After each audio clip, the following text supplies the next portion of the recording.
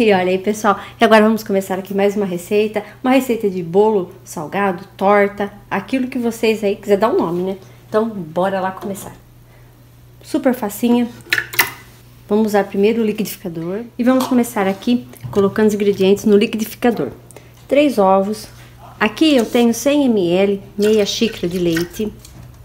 Vou bater também meia xícara de óleo Primeiro vou bater esses aqui, tá? Depois a gente volta batendo.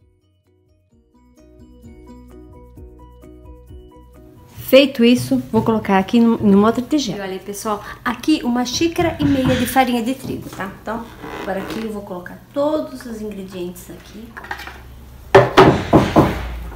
E olha aqui a nossa massa, tá mais mexidinha aqui.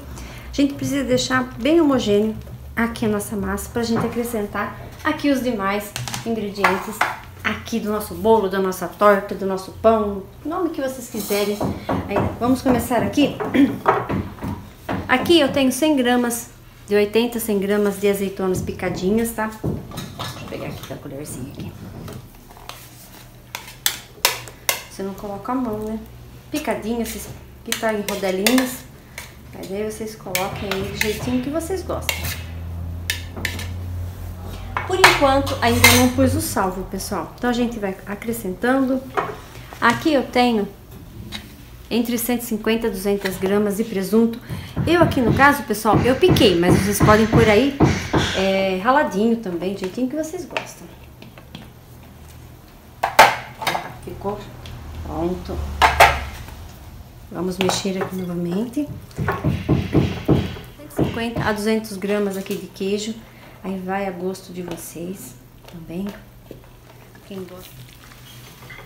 Ela fica uma massa bem consistente aqui. Aqui, pessoal, eu vou colocar, vou deixar o fermento por último. Aqui tem o orégano. orégano também é a gosto, uma colher de chá, uma colher de sopa. E aqui eu tenho uma colher de sobremesa de fermento em pó. Tá? Que eu vou colocar aqui por cima.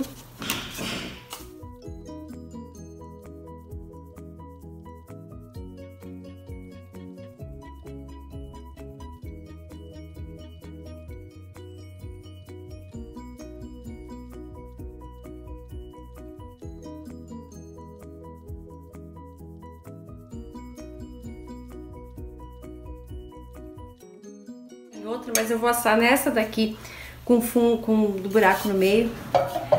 Untada e enfarinhada, quem quiser. Eu vou estar tá usando o desmoldante da Iceberg, tá? Porque eu quero tirar ele da forma.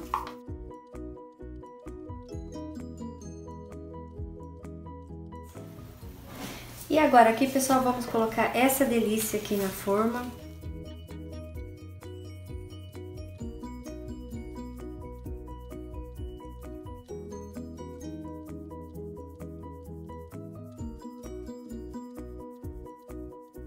Pessoal, vou dar uma acertadinha aqui na minha...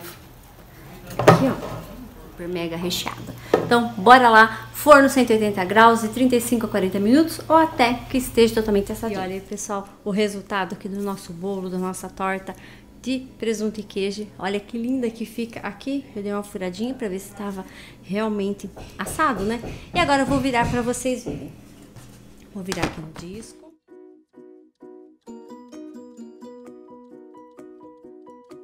E olha aí, pessoal, não resisti, virei novamente aqui o nosso bolo e agora vou cortar uma fatia para vocês, tá? Ah, quem quiser salpicar por cima antes de levar a assar, aí tem que deixar essa parte para cima, né? Orégano, corta um pedacinho, não sai. E olha aí, pessoal.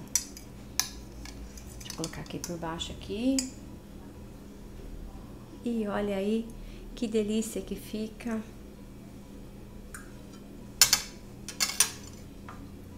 Vou mostrar aí pra vocês, rapidinho de fazer.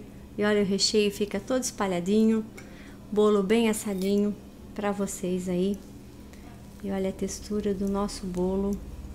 Deixa eu cortar aqui, mais pertinho pra vocês verem aí. Como que ele fica super fofinho, pessoal. Olha o queijinho puxa aqui também, que delícia. Muito obrigada a todos que ficaram, curtiram, deixaram o seu like e até um próximo vídeo, pessoal.